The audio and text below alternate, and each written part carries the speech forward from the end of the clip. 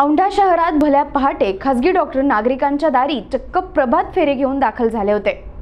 राज्यात अनेक ठिकाणी नागरिक हे कोरोना लस टोचून घेण्यासाठी नकार देत आहेत. अनेकदा प्रशासनानं विनंती करून देखील नागरिक हे लसीकरण केंद्राकडे पाठ फिरवून कोरोनाच्या तिसऱ्या लाटेतील लढ्याला कमकुवत करण्याचा प्रयत्न करतात मात्र आता याच नागरिकांना त्यांच्या भाषेत समजावून सांगण्यासाठी चक्क खाजगी डॉक्टर बाहेर पडलेत याची सुरुवात हिंगोली जिल्ह्यातील औंढा शहरातील खाजगी डॉक्टरांनी सकाळी सुरू केली.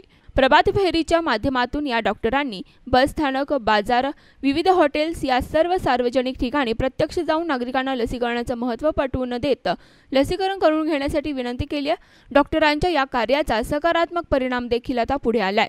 कोरोना काळामध्ये उपचार करणारे डॉक्टर चक्क लस घ्या म्हणून आपल्या दारामध्ये असल्यानं अनेकांनी आता लस घ्यायला देखील सुरुवात केली आहे. जागतिक पेंडेमिकमध्ये कोविडनं कहर केलेला आहे. आणि ह्या साथीच्या निवारणार्थ आपण लस घेणं हे फार गरजेचं आहे. आणि माननीय जिल्हाधिकारी साहेब हिंगोली यांनी आमच्या डॉक्टर असोसिएशनला सूचना केली. आणि औंढा नागनाथ डॉक्टर औंढा नागनाथचं जे काही डॉक्टर असोसिएशन आहे ते सामाजिक कार्यामध्ये नेहमीच अग्रेसर असते. मग ते कुठलंही लसीकरण असो किंवा वृक्षारोपण असो. आणि सामाजिक बांधिलकीचा भाग म्हणून की सगळ्यांनी जर लसीकरण घेतलं तर आपण लवकरच ह्या पेंडेमिक साथीपासून मुक्त होऊ. तेव्हा हे लसीकरण औंढा नागनाथ शहरामध्ये सगळ्यांनी घ्यावं म्हणून आम्ही दिनांक दोन ऑक्टोबर रोजी गांधी जयंतीच्या मुहूर्तावर परमपूजनीय पिताजींना अभिवादन करण्यासाठी एका लसीकरण कॅम्पचं आयोजन केलेलं आहे. तरी सर्व नागरिकांना मी औंढा नागनाथ डॉक्टर असोसिएशनच्या वतीनं असं आवाहन करतो की त्यांनी सर्वांनी लसीकरण करून घ्यावं. म्हणजे आपण लवकरच या करोनापासून मुक्त होऊ.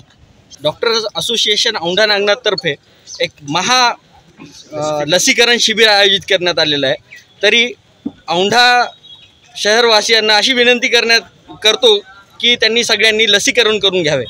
आत्तापर्यंत अख्ख्या महाराष्ट्रामध्ये डॉक्टर लोकांनी कधी लसीकरण असं आयोजित केलेलं नाही ते की औंढा नागनाथ डॉक्टर असोसिएशननं आयोजित करण्यात केलेलं आहे.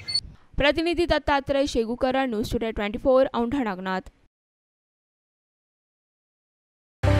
राज्यातल्या आणि देशातल्या ताज्या घडामोडींसाठी आजच आमच्या यूट्यूब चॅनलला सबस्क्राईब करा आणि बेल आयकॉनला क्लिक करा.